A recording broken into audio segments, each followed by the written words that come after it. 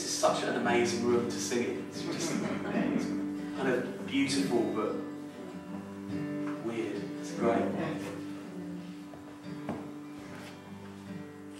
My name is Mary Abbott. I'm the matron's trusted girl.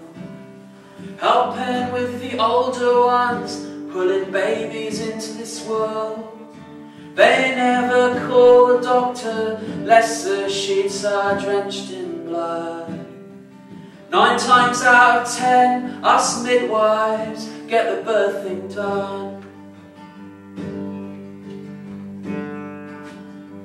She was Elizabeth Ulyatt, she was in the family way. Banging on the workhouse door before her baby came. What about your husband, girl? Sir, I don't. What about your family? Sir, they want me gone.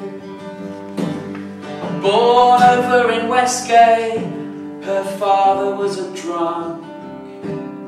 A labourer, a fighter, he even stabbed his eldest son. The good Lord knows what went on in that house. You've heard what people say. So as soon as she were able, young Elizabeth ran away. So here she is in the committee room with everything she owns. Nothing stolen, belly swollen with her precious load.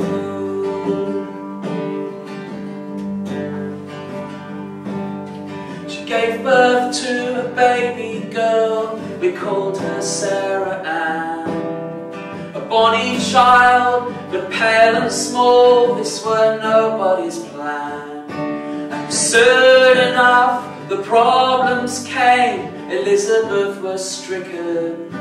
She won't take milk, she'll never sleep, won't stop crying even when she's bitten. You could see her heart were aching, you could see she loved her too. Mary, she said, with eyes so red, I don't know what to do. That night, she took the child and left, driven by a fear. She went out into the cold and dark when she should have stayed right here.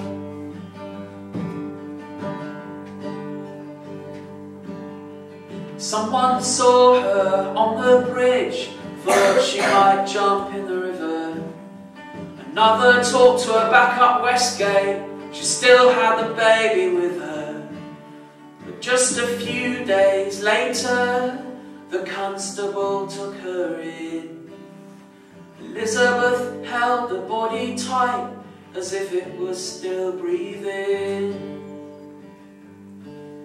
They gave evidence in her defence that she weren't right in the head. Mistreated and abandoned her whole life, a weak mind, the parish clerk said. Right through the trial, without a rest, she bowed her head and cried. She didn't seem to understand how a babe might live and die.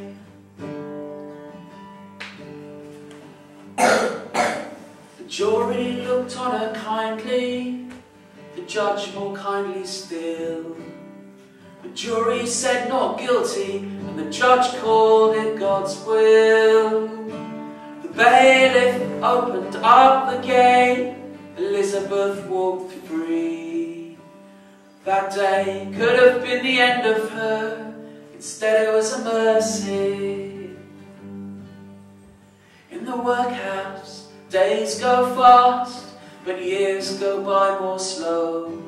She's been in and out, but she's married now. Made herself a proper life, you know. And I'm not a pauper, neither no more. Married with my own family. But I'll never forget Elizabeth Ulyatt and the way she looked at me.